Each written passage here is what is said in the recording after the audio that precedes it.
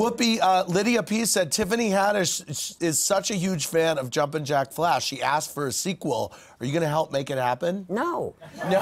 Why? because that's not the sequel I want to do. So you Sister Act. What you want to do? Sister Act three? Yeah. Yes. Sister Act. Wait, wait. The, That's a no-brainer. The two of them in Sister Act, that should happen. I'm- I'm- Honestly. let's make it happen. But Well, that's a no-brainer. Make it Does, does Disney would- not want to do that? No. That's nuts. that is nuts. We got a gasp in the audience. Um, Jesse D wants to know the most fun you've ever had hanging out with Janet Jackson, Tyler.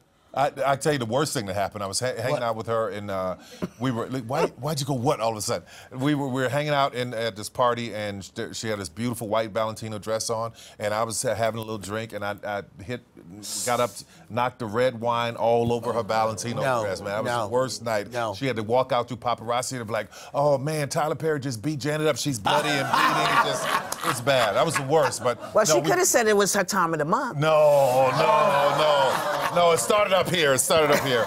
But she was, uh, she was. She The was women really know. it. Yeah. The really women know. It travels. Go ahead. She really, really good It about it. travels, Whoopi. Is that what you said?